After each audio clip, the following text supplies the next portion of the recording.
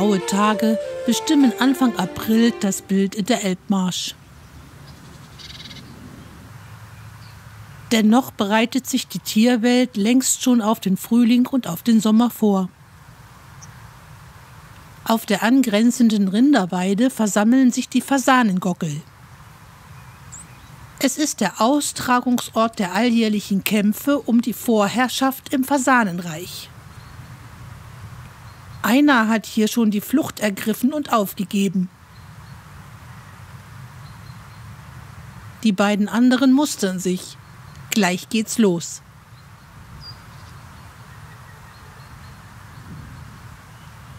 Die dicken, starken Schnäbel können ganz heftige Verletzungen verursachen. Was hier aussieht wie ein ganz harmloses Tänzchen, ist nicht so harmlos, wie es aussieht.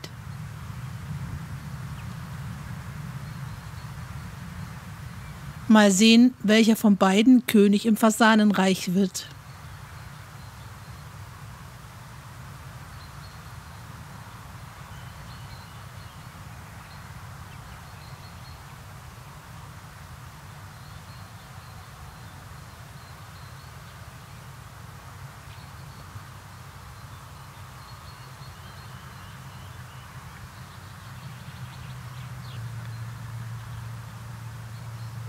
Okay, entschieden. Der Verlierer verlässt mit einem Affentempo das Gelände. Der Bussard kreist und hat wohl auf Beute gehofft. Seinen Horst hat er dieses Jahr auf einer perfekten Plattform mit einer unglaublich guten Übersicht gebaut. Auch die Amselchen sind schon auf Partnersuche.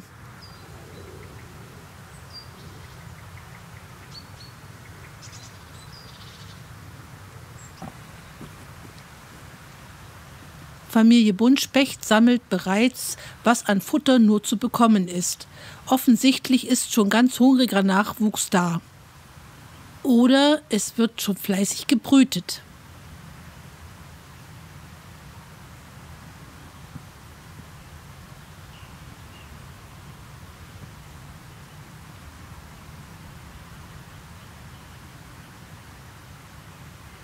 Auf jeden Fall kommt das Futter an meiner Futterstelle wieder einmal sehr gelegen.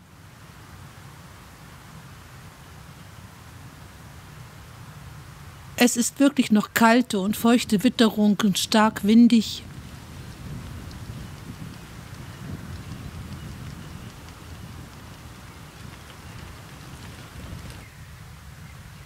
Aber auch die Buchfinken sind schon wach.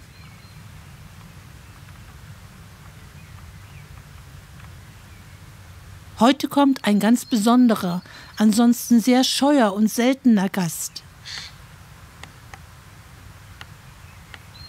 So scheu und skeptisch wie Eichelheer ansonsten sind, jetzt in der Brutzeit können auch sie jedes Futter gebrauchen, was sie nur bekommen können. Ich kämpfe bei diesem Wetter und diesen Lichtverhältnissen mit meiner Kamera.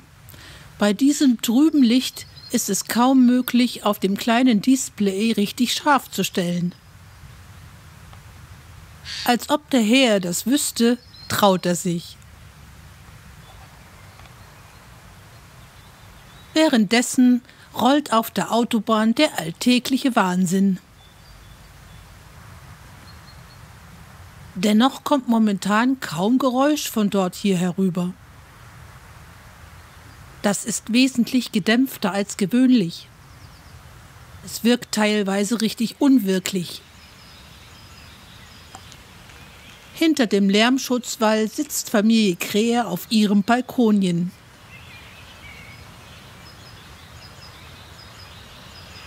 Da ich jetzt bereits auf dem Heimweg bin, interessiere ich sie wenig. Das Futter habe ich ja schon abgeliefert.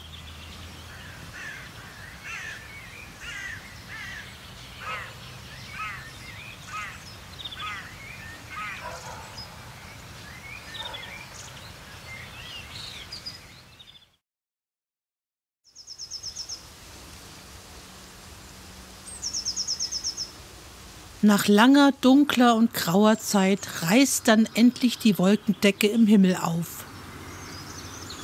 Sonne und strahlend blauer Himmel kommen zum Vorschein. Die ersten warmen Sonnenstrahlen erfreuen alle Gemüter. Das ist der laute Ruf eines Grünspechts. Zu Gesicht kriege ich ihn aber nicht. Das Wetter ist schon viel freundlicher, jedoch ist der starke Wind geblieben und verstärkt sich. Die Bussard-Familie behält die Futterstelle stets im Auge. Zweckmäßigerweise hat sie ja ihren Horst auch genau auf dem Strommast direkt auf der Weide aufgebaut. Die hier ansässigen Krähen sind sehr neugierig und behalten die Futterstelle ebenfalls genau im Blick. Sie kommen aber nicht heran, solange ich noch da bin.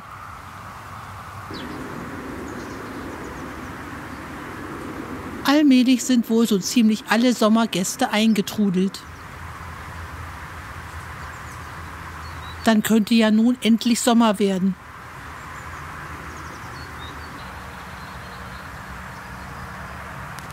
Aber es wird schon eher wieder trüb und die Sonne verzieht sich. Das war wohl noch nichts.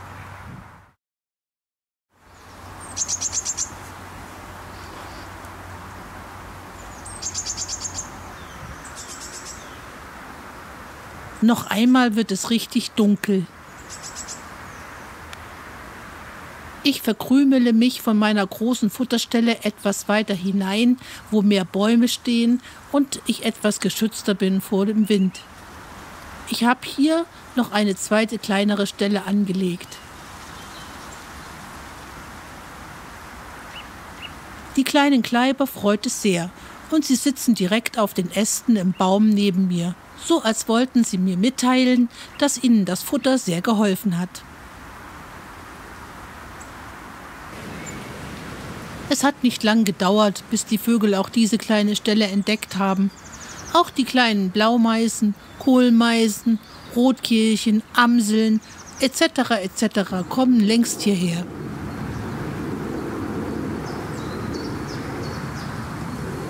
So kann ich hier an einem etwas windgeschützteren Plätzchen sitzen und zuschauen.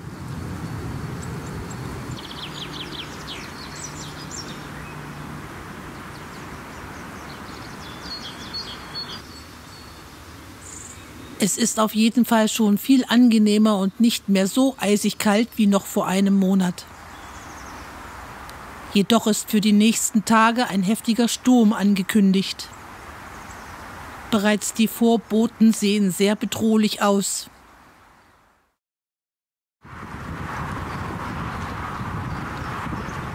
Ob sich die Stare wohl fragen, warum sie bereits schon hierher gekommen sind? So nach richtigem Sommerquartier sieht das hier aber nicht aus. Es waren Orkanstärken und Tornado-Wetterlage angekündigt, aber ganz so schlimm ist es Gott sei Dank nicht gekommen.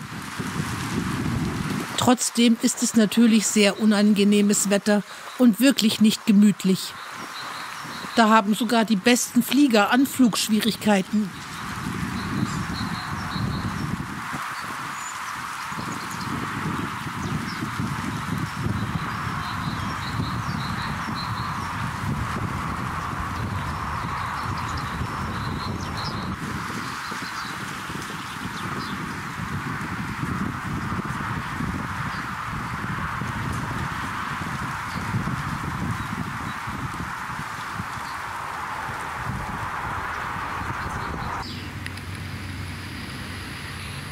Auch die Buchfinken scheinen das Problem von Mobbing zu kennen.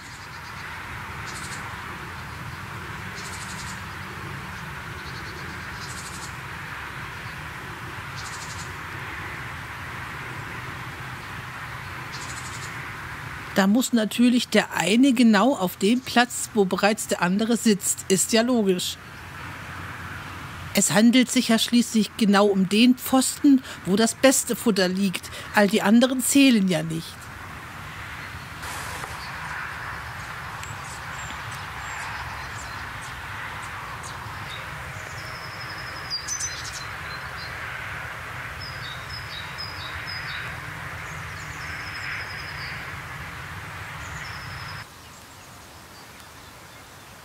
Auch die Störche sind unterdessen eingetroffen auch sie scheinen sich zu fragen, was denn hier mit dem Wetter los ist.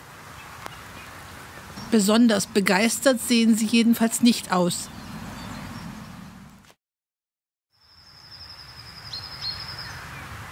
Es will und will einfach nicht heller werden. Tag für Tag vergeht Grau in Grau. Bevor die Stare zur Futterstelle kommen, findet eine ausgeprägte Diskussionsrunde statt. Nach dem Gezeter und Geschnatter geht es dann endlich zum Futtern.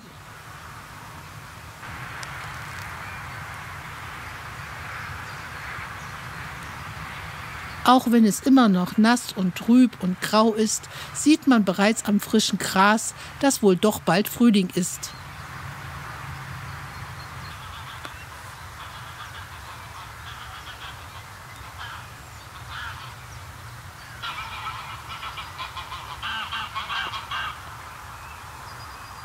Am Abend reißt der Himmel etwas auf und es gibt einen Mix aus Sonne und Wolken. Da kann man ja noch etwas Hoffnung haben.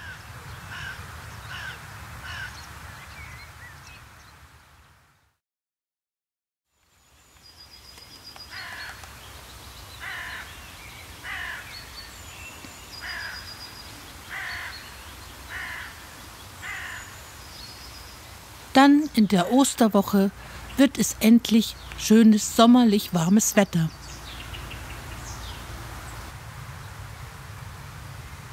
Ringsherum findet von morgens bis abends ein Konzert aus hunderten Vogelstimmen statt.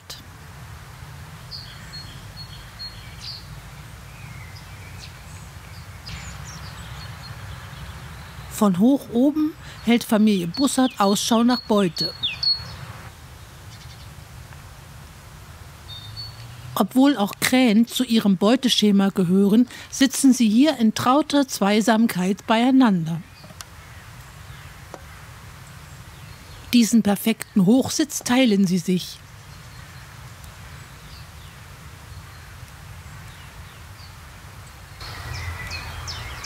Ich frage mich, ob sich die Tiere nicht manchmal fragen, was dieser Irrsinn hier soll.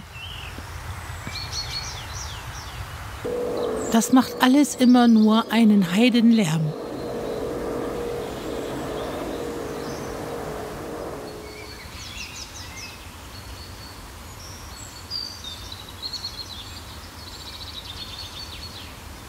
Das zigfache Gezwitscher rundherum ist da viel schöner anzuhören. Und es wird bei diesem schönen Wetter auch immer mehr.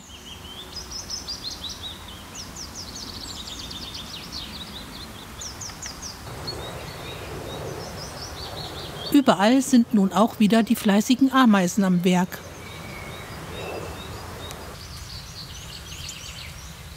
Eichelher scheint es an meiner großen Futterstelle viele zu geben. Was ich hier nicht sehen kann, sind Elstern. Die wiederum habe ich statt Eichelhären an meiner ersten Futterstelle.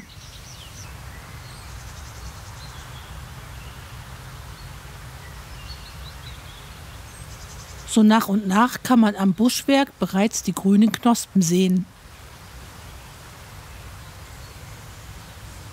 Es wird nicht mehr lange dauern, dann treiben auch die Bäume aus.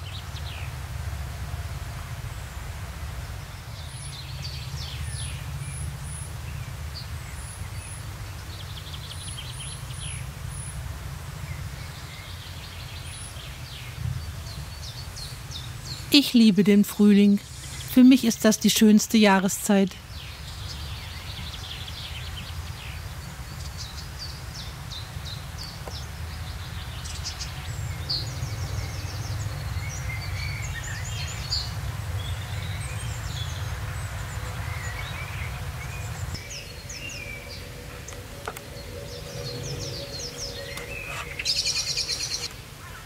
Die unterschiedlichsten Arten von Finken sind nun da. Sie decken sich reichlich mit Futter ein, weil sie wahrscheinlich auch schon Nachwuchs haben.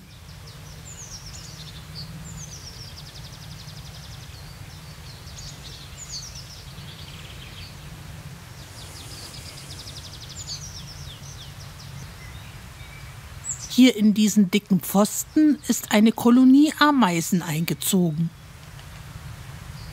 Der ganze Stamm ist bereits hohl und wird wohl irgendwann einfach umkippen,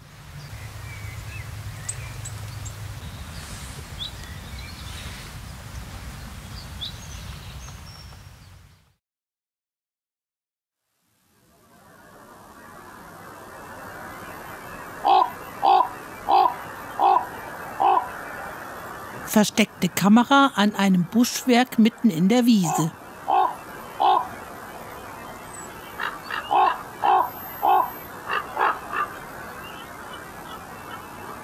Das Bäumchen habe ich mit Futter bestückt.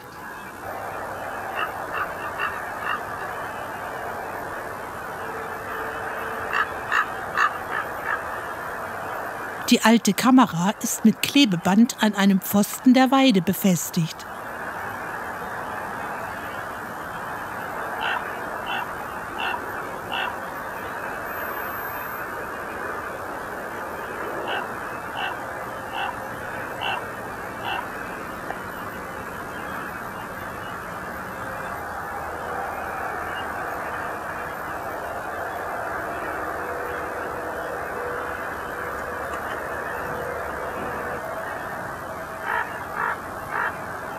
Da diese Schwarzröckchen immer nur kommen wollen, wenn ich nicht mehr da bin, muss ich zu Trick 17 greifen.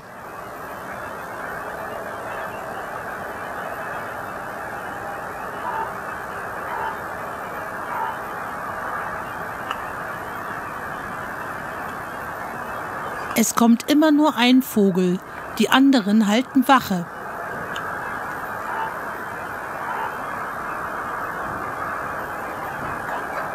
Über die Baumwipfel hinweg wird sich unterhalten.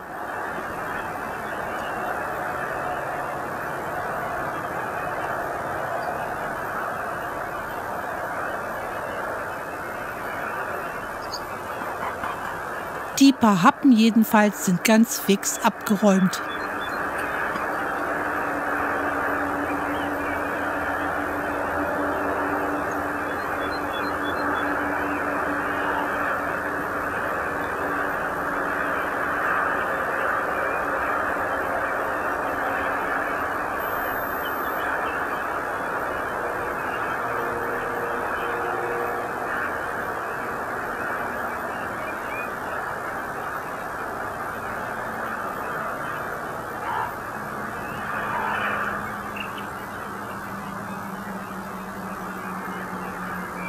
An diesem Tag ist es auch bereits warm wie im Sommer.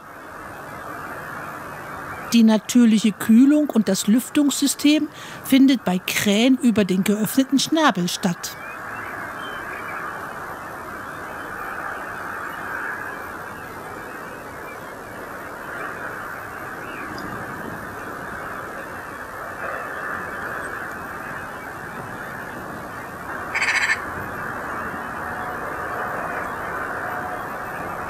Auch sind hier Elstern in der Nähe, wie man hören kann. Aber sie müssen warten auf das, was die Krähen übrig lassen.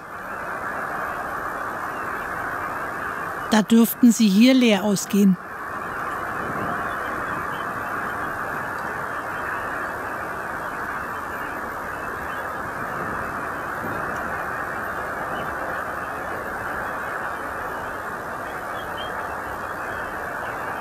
Akribisch wird das Büschlein abgesucht, bis auch das letzte Stück Futter gefunden ist.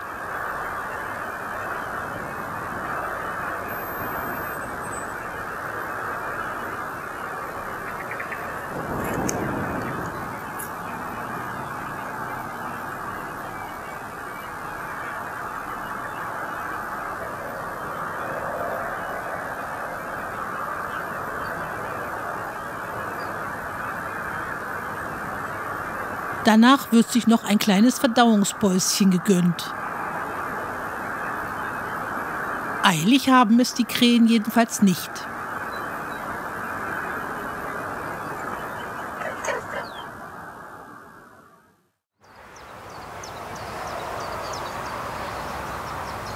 Mit golden schimmerndem Abendlicht geht dieser wunderbare Frühlingstag zu Ende.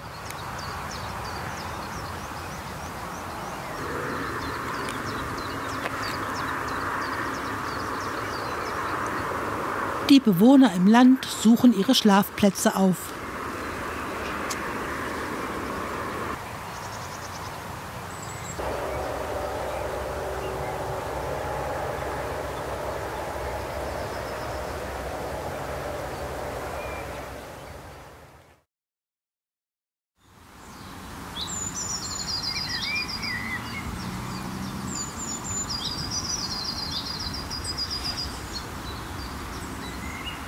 Um meine große Futterstelle versammelt sich eine Krähenschar, um mich genauestens zu observieren.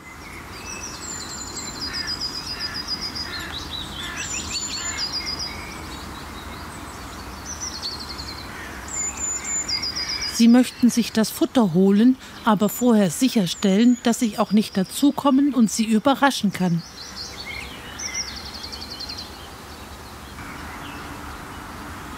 Dabei teilen sie sich die Arbeit auf. Einige Krähen bleiben in meiner Nähe, während die anderen sich das Futter holen.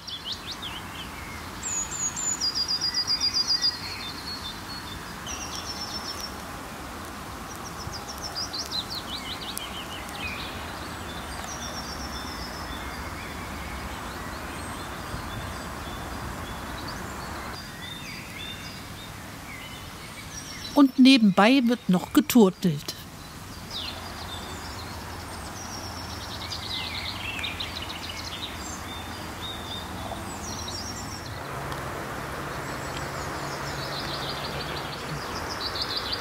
Anschließend sammelt sich die ganze Schar und beäugt mich heimlich.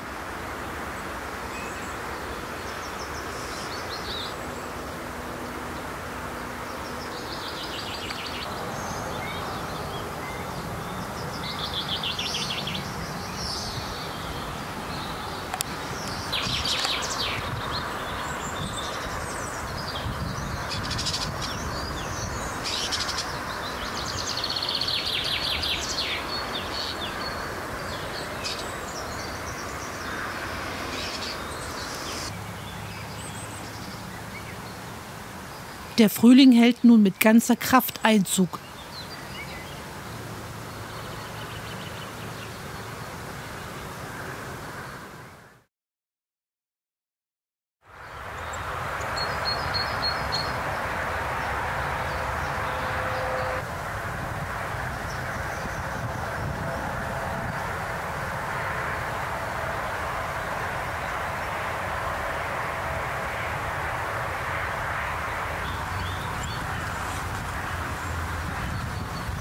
Die meiste Zeit ist wunderbarer Sonnenschein, aber es hält sich ein sehr starker Wind aus östlichen Richtungen.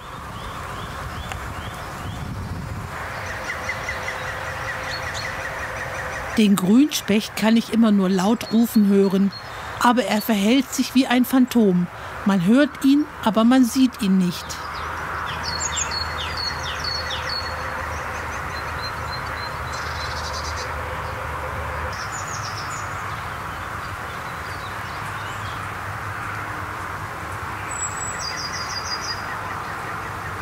Nur die Flora blüht und gedeiht prächtig, auch an meiner Futterstelle wird es immer bunter.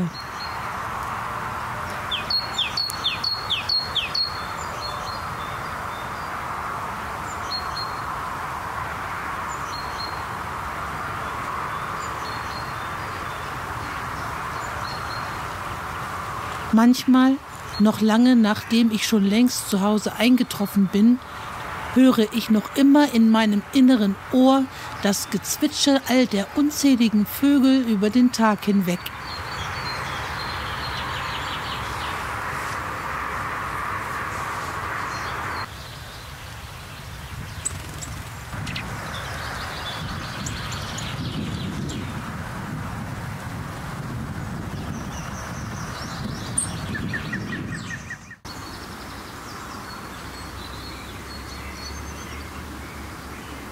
Mit jedem Tag wird es grüner und grüner.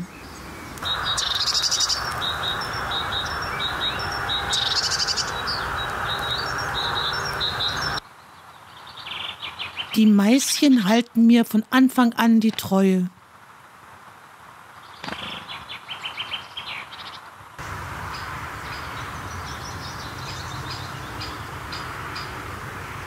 Waren die Ersten, die begriffen haben, dass es bei mir etwas zu holen gibt.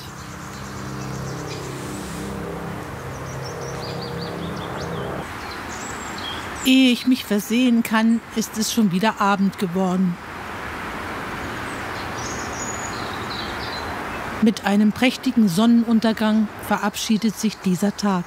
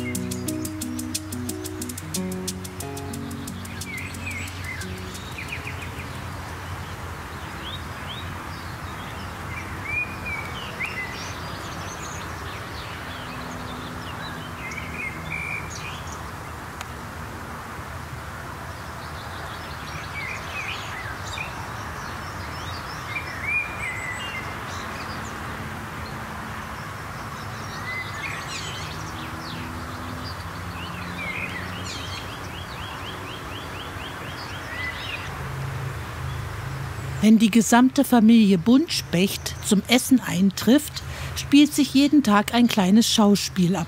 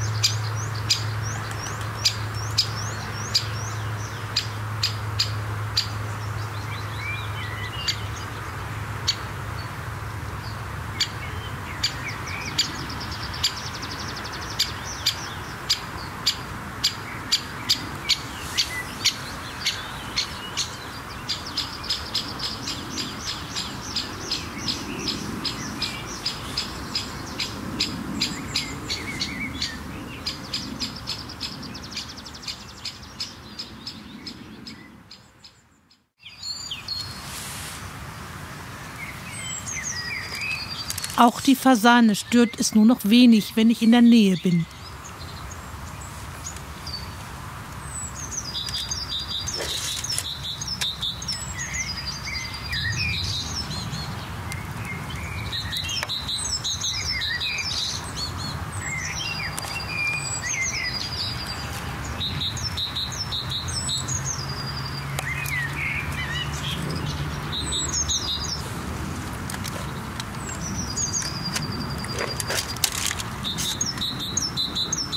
Dieser Hahn passt zwar genau auf und beobachtet, was ich tue, weiß aber genau, dass ich diejenige bin, die ihm das Futter gebracht hat.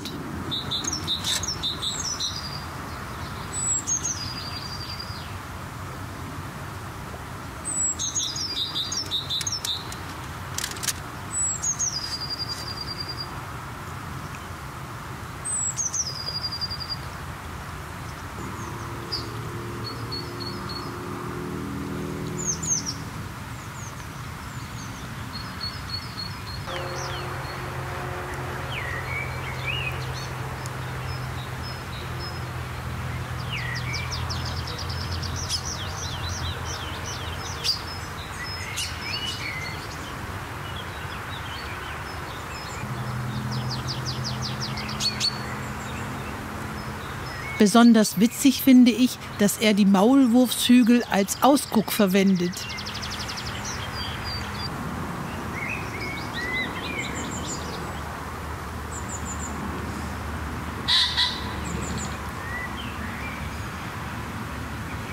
Das ist wirklich ein sehr stolzer Gockel.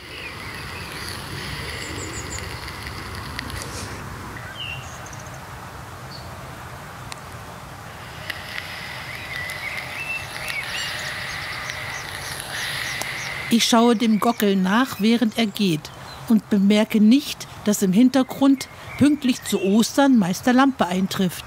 Ich entdecke ihn erst, als ich die Bilder später schneide.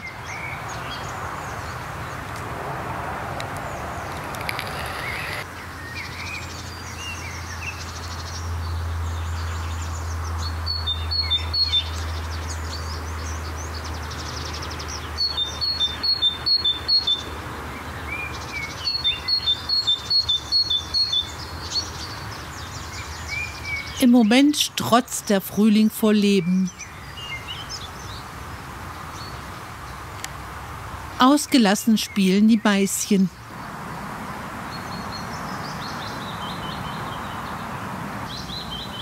Es grünt und blüht und ist angenehm warm.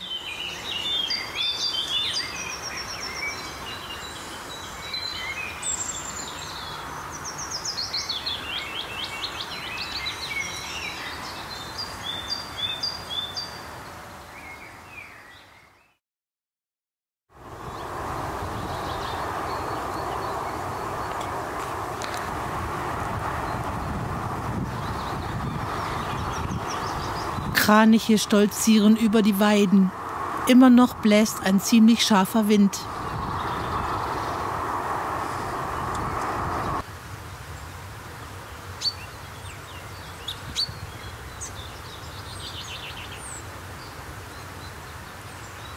Die Spechte wollen mir offenbar Modell sitzen.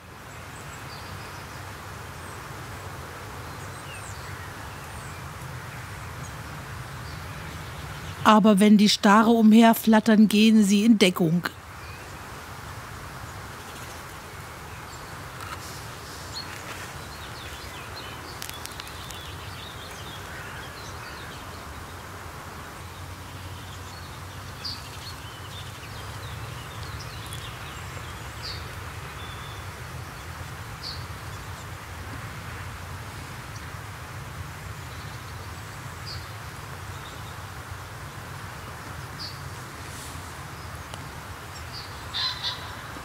Dieses hier sind die ersten mutigen Exemplare. Es kann aber nicht mehr sehr lange dauern, bis die gesamte Starenschar hier eintreffen wird.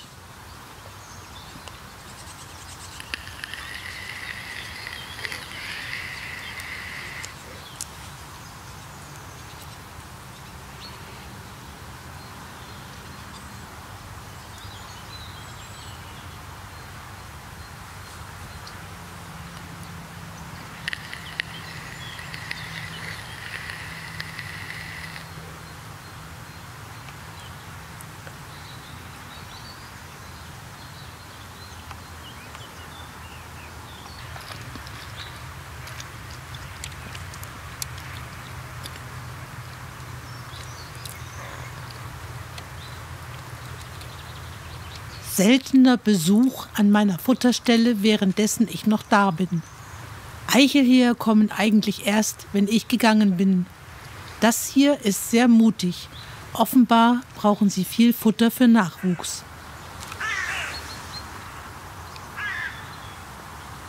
Die Krähen beschweren sich auch umgehend. Offenbar haben sie Sorge, dass nicht genug übrig bleibt.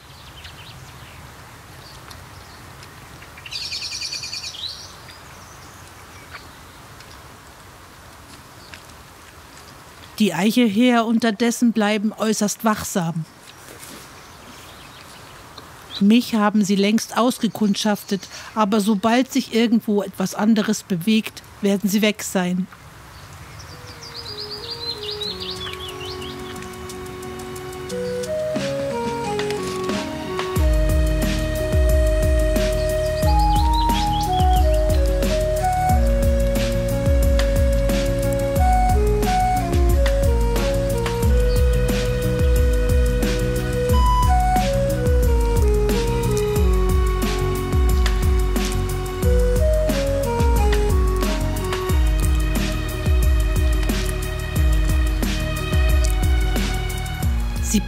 Ein, was sie kriegen können und füllen ihren Kopf.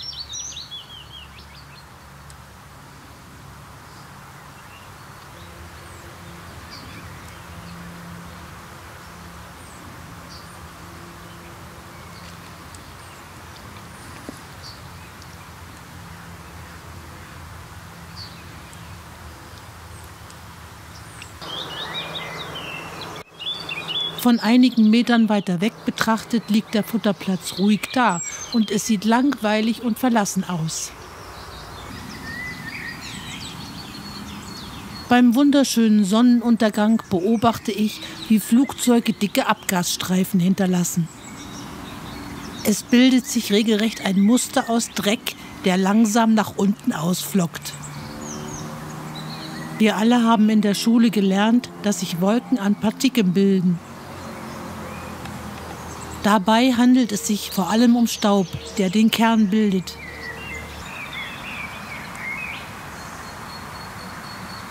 Was muss dann hier für eine Masse an Dreck dabei sein?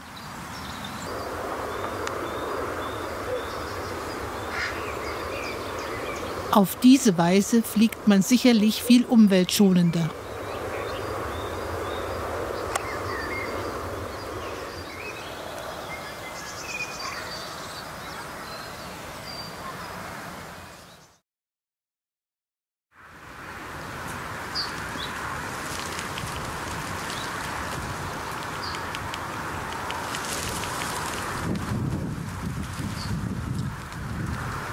Immer noch hält sich der starke Wind.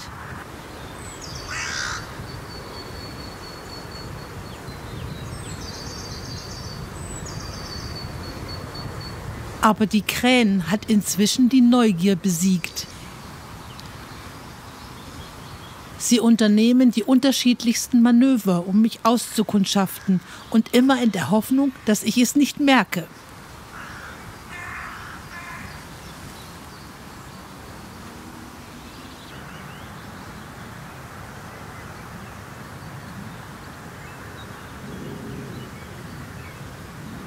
Ich lege dann hier und da noch einen weiteren Happen hin, um sie weiter neugierig zu machen. Das hier ist allerdings ein Amselmännchen.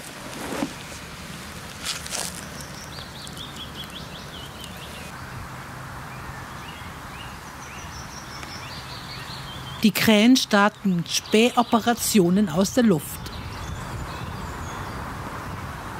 An strategischen Punkten werden Späher installiert.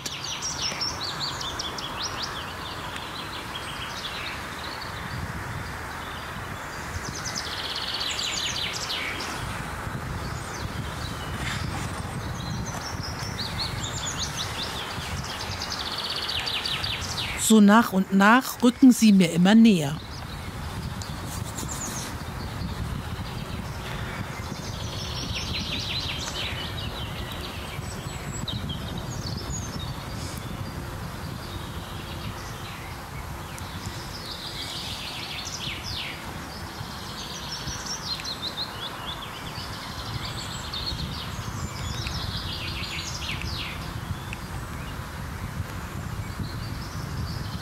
Sie testen aus, wie ich darauf reagiere.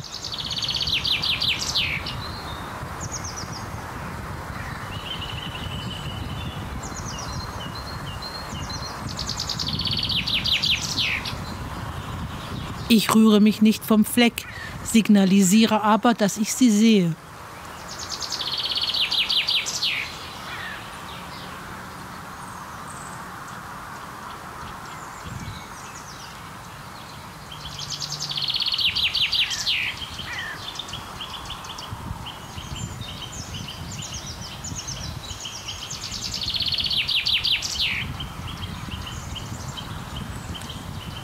Denke, Sie haben längst verstanden, dass ich keine Gefahr für Sie bin.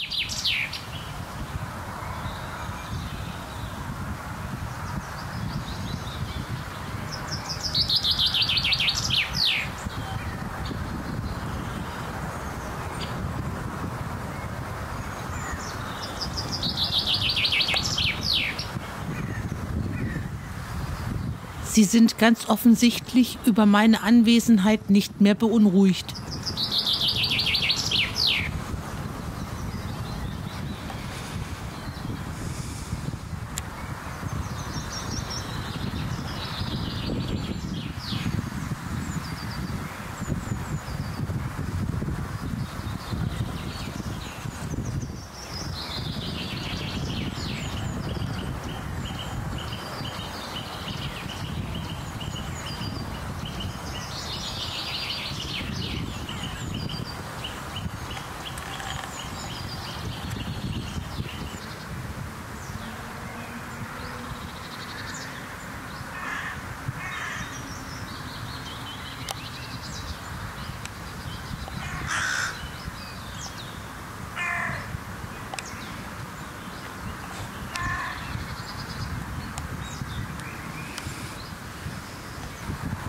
Beinahe, als wollten sie Gute Nacht sagen, fliegen sie noch einmal im Abendrot eine Runde, um sich zu verabschieden.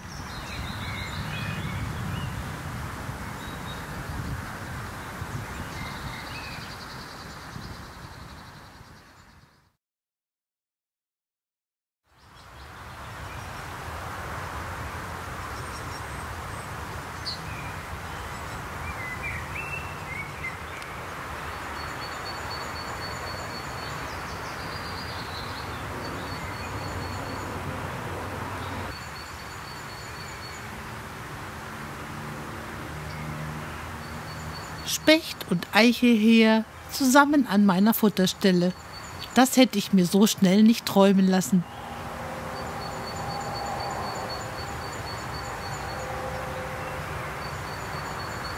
Aber es scheint wirklich so zu sein, dass das Futter willkommener und benötigter ist, als ich mir das vorher gedacht habe.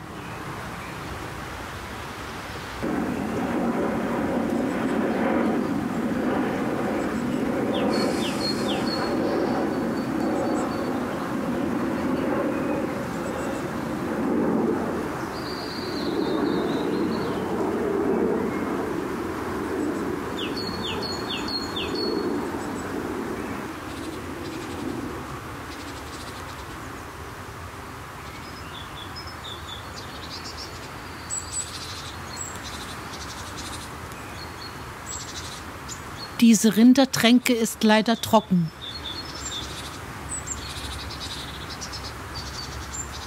Es müsste tiefer gebohrt werden, um noch an das Grundwasser zu kommen.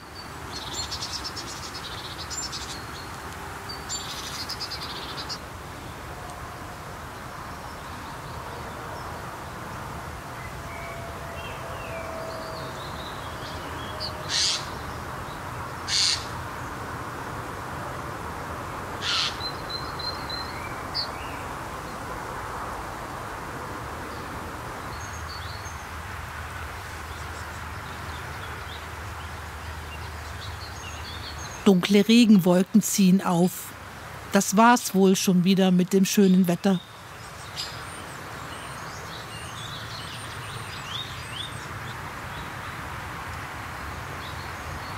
Auch die Starre sind richtig relaxed, auch wenn ich noch da bin.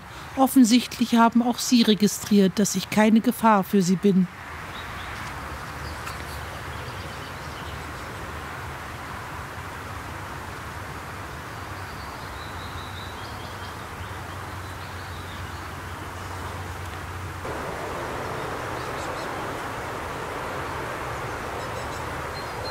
Selbst die Rehe beunruhige ich nicht sonderlich. Sie schauen kurz auf, schauen in meine Richtung, als ob sie sagen wollten, ach du bist das schon wieder, und machen einfach weiter.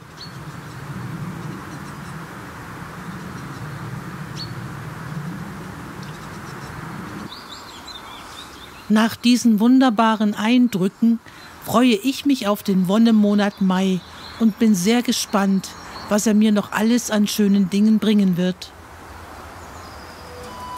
Ich werde euch davon berichten. Seid gespannt.